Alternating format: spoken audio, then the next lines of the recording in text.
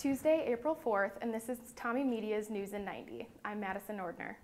St. Thomas undergraduate student government president Mazer Muhammad will remain in his position for the remainder of the year after a vote of no confidence on Sunday night failed to garner the required two-thirds majority to remove Muhammad from office. This vote was prompted by the recently discovered inflammatory tweets by Muhammad, as well as the release of a controversial apology that was sent out just before spring break. Check out TommieMedia for the full story. Augsburg College will soon be Augsburg University in the fall of 2017.